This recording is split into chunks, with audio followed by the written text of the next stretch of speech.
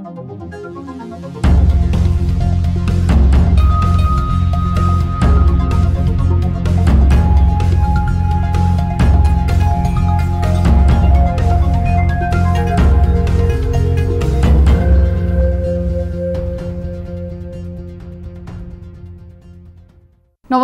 यो news twenty four television prime time न्युजका हेडलाइन्समा स्वागत छ।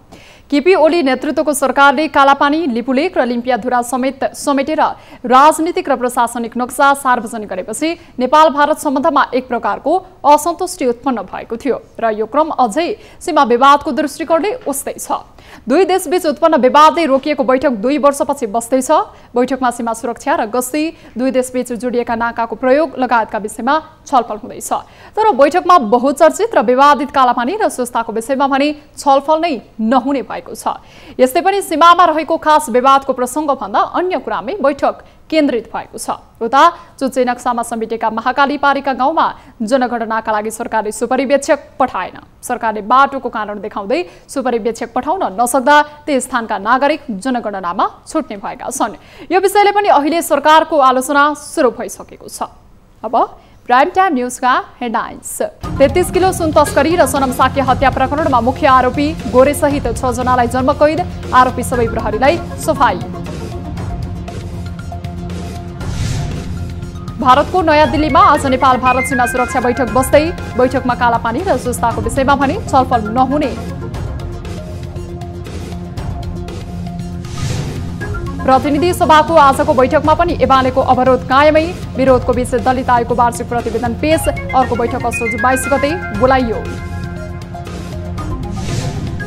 यस वर्षको भौतिक शास्त्रतर्फको नोबेल पुरस्कार घोषणा सकुरो मनावे क्लाउस हेसलमन र जर्ज योपिरेसीलाई दिइने। पछिल्लो चौबिस घण्टामा थप नौ सय अडसठी जनामा कोरोना भाइरसको संक्रमण पुष्टि छ जनाको मृत्यु एक हजार एक सय चौध जना संक्रमण मुक्त। शेयर बजार परिसूचक नेप्सेमा एकचालिस अङ्कको सुधार कारोबार दुई अर्ब उनासे करोडमा खुम्चियो।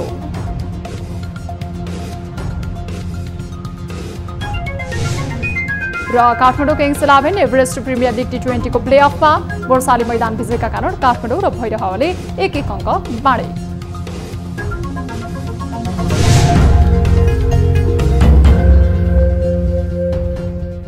प्राइम टाइम न्युजका हेडलाइन्स शैलीलाई यति नै। जाँदा जाँदै ताली र गालीका लागि हामीले सोधेको प्रश्न। नेकपा एमालेको विधान महाधिवेशनले लिएको निर्णयले अध्यक्ष केपी शर्मा ओलीलाई सर्वै सर्वा बनाए जस्तो लागेन। लाग्यो भन्नेले तालीमा र होइन लागेन भन्नेले गालीमा हाम्रो पात्रोको एप्लिकेसनमा गई भोट गर्न सक्नुहुनेछ। थप न्युजका लागि हाम्रो website W W W dot news twenty Nepal dot com हेर्नुहोला। साथै हामीलाई फेसबुक ट्विटर र युट्युबमा पनि फलो गर्न सक्नुहुनेछ। यस्तै मोबाइल इमेल र भाइबरबाट न्युज ट्वेन्टी फोरको हेल्प डेस्कमा केही समस्या र गुनासा छन् भने सम्पर्क गर्न सक्नुहुनेछ। हामी निरन्तर न्युजमा छौँ। नमस्ते।